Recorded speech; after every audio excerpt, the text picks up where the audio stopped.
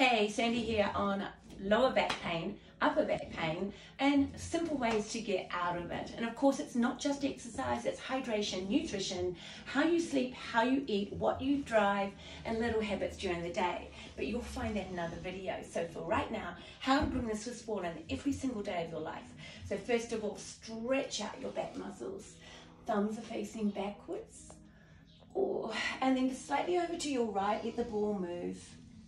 Come back into the center and slightly over to your left. Back into center. Of course, you can do more than one each if you want. Hold here, bring your hands together. Drop your hands down behind your head. Now push your head into your hands. You're gonna feel your upper back, your lower back. And then just relax. Do it again. Strengthening the neck muscles from looking at your computer and your phone all day.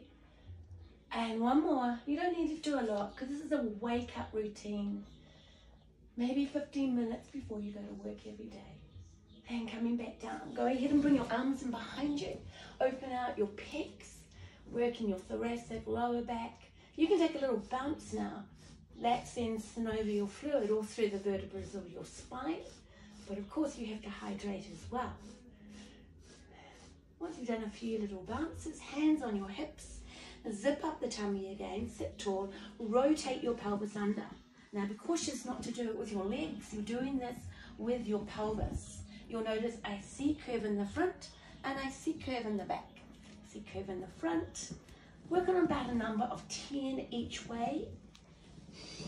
Couple more, feels yummy. You will find and you will notice a little bit of pain, just ignore it. Go side to side. It's like doing a little dance keeping the zip on the tummy, in your spine. Use your breath. Be aware if you hold your breath. Now we're going to come into a figure eight. The figure eight is out to the side. So we go round to the side, and you may feel a little uncomfortable and unsteady. That will improve. Round to the side. Now the trick here is reversing your figure eight. Don't worry if you get a little stuck here, have a laugh at yourself.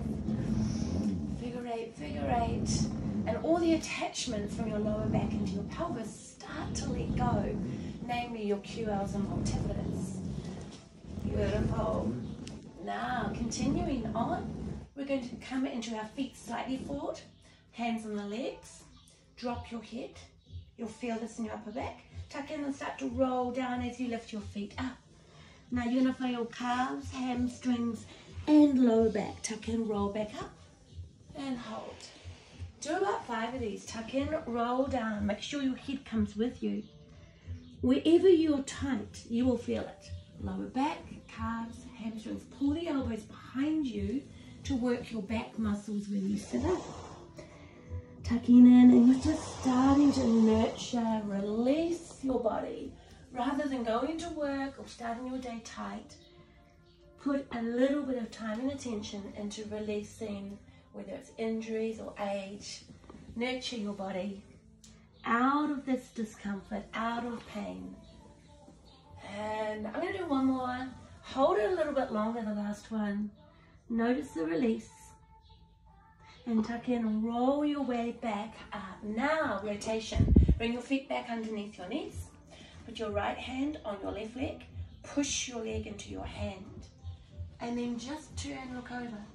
So be cautious not to pull yourself around, but push yourself around. Come back in center. Left onto right, push into the hand and rotate. Ideally, you want to get your hand into the middle of the back of the ball. And a couple more. You'll feel the release and rotate. And one more time.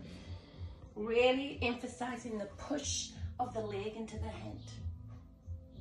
Beautiful. Now we work out to thoracic and hold.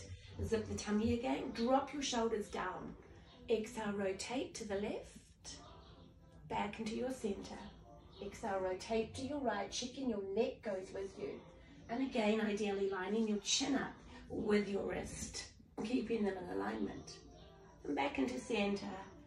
And one more. Back into center. Go ahead now and reach up and see how much better that feels.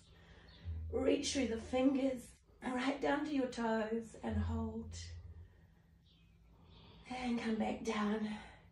There's plenty more you can do, but start your day with that. And also another little tidbit.